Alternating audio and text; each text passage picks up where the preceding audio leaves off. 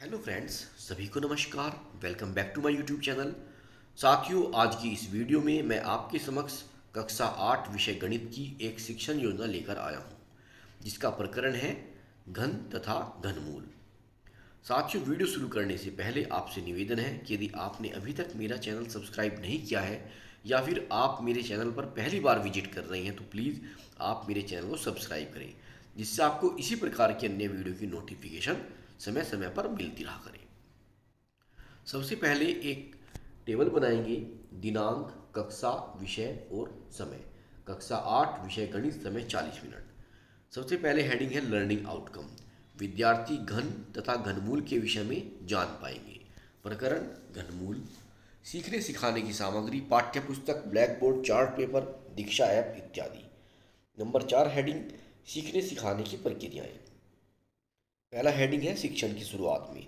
समय पाँच मिनट, आकलन का तरीका, प्रश्न उत्तर और बातचीत। शिक्षक बच्चों से कहेंगे कि आप घात व घातांक के विषय में पढ़ चुके हैं कि जब किसी संख्या को तीन बार लेकर उसका आपस में गुणा किया जाता है तो प्राप्त मान उस संख्या की तीन घात होती है। तो यहाँ पर बच्चों को बताएँगे बच्चों, आज हम घन तथा घनमूल के विषय में पढ़ेंगे। शिक्षण के दौरान समय 25 मिनट, आकलन का तरीका अवलोकन। शिक्षक ब्लैक बोर्ड पर। घन की संकल्पना। आइए घन ज्ञात करने की विधि को समझें। बच्चों को इसी तरह से बोर्ड पर लिखकर समझाएँगे कि तीन गुना तीन गुना तीन बराबर तीन की घात तीन, यानी कि इसका उत्तर आता है सत्ताईस।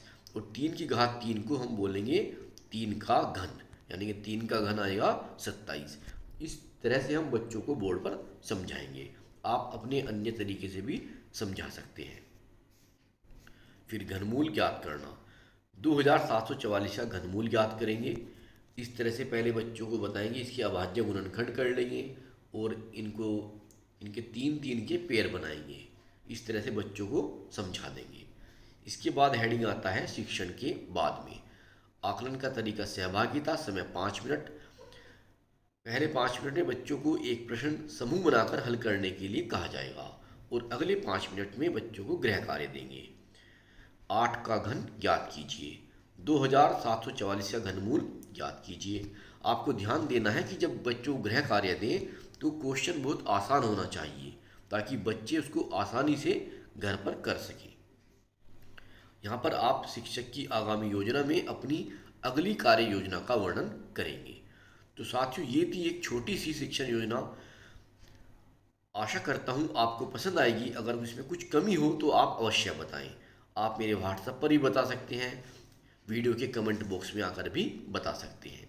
मिलते हैं बहुत जल्द आपसे अगली वीडियो में, तब तक के लिए नमस्कार हैव नाइस डे